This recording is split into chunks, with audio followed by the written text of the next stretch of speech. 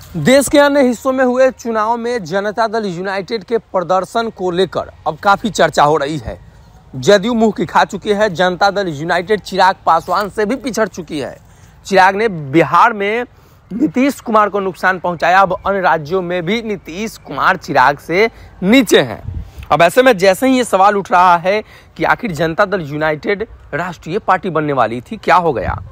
तो ललन सिंह को लेकर चर्चा शुरू हो जाती है। दरअसल, ललन सिंह चुनाव का कमान संभाल रहे थे और उन राज्यों में मात्र एक सीट पर, और वोट प्रतिशत भी चिराग पासवान से कम आया है। चिराग ने दो सीट पर जीत दर्ज कर पाए और जनता दल यूनाइटेड एक सीट पर। अब ऐसे में जदयू के सबसे बड़े प्रतिद्वंदी और चिराग पासवान जैसे ही दुश्मन, जो नीतीश कुमार के राजनीतिक दुश्मन है, उपेंद्र कुशवाहा, उन्होंने अपनी चुप्पी तोड़ी है। उन्होंने कहा है कि हमने पहले ही कहा था, अब क्या हुआ राष्ट्रीय अध्यक्ष जी का? बड़ी बड़ी बातें करते थे। हमने स्पष्ट कहा था कि जदयू कमज़ोर हो रही है, जदयू का जनाधार खिसक रहा है, जब आपका जनाधार बिहार में ही नहीं रहेगा तो अन्य राज्यों की स्थिति क्या होगी? यही नहीं, उपेंद्र कुशवाहा ने आगे बढ़ते हुए कहा कि मुख्यमंत्री नीतीश कुमार को अब भी सचेत होने की ज़रूरत है। अब बचा कुछ नहीं है जनता दल यूनाइटेड में। हमने जदयू से अपने आप को अलग किया। हमें पता था कि इस तरह का मामला जनता दल यूनाइटेड के अंदर चल रहा है। नेता काम नहीं कर रहे हैं। पार्टी के अंदर गुटबाजी की स्थिति है। पार्टी की स्थिति ठीक नहीं है। उपेंद्र कुशवाहा ने कई सारे आरोप लगाए थे। और इन दिनों उपेंद्र कुशवाहा विरासत बचाओ नमन यात्रा पर घूम रहे हैं। कहीं ना कहीं बिहार में मुख्यमंत्री नीतीश कुमार के वोट बैंक में एक बड़ी सेंधमारी की कोशिश कुशवाहा कर रहे हैं। आने वाले दिनों में हो सकता है, उपेंद्र कुशवाहा कोई बड़ा खेला कर दे। लेकिन एक चीज़ तो तय है कि जिस तरीके से जनता दल यूनाइटेड के वोट और जनाधार में बिहार में कमी आई है, कहीं ना कहीं अन्य राज्यों में भी असर दिखना शुरू हो गया है।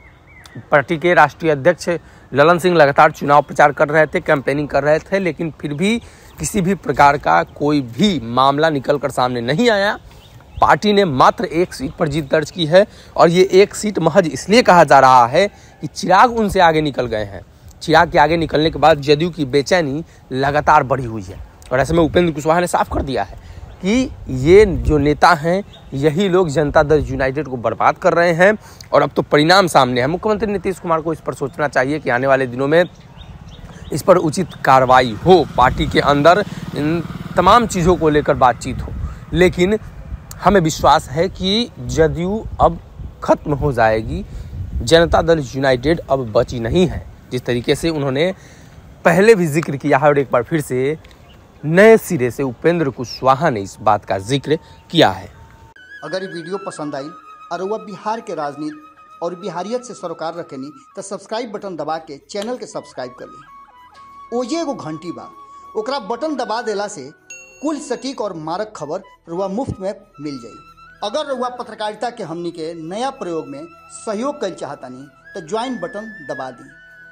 पेटीएम नंबर नोट कर ली nine three eight six eight one six seven double zero. धन्यवाद।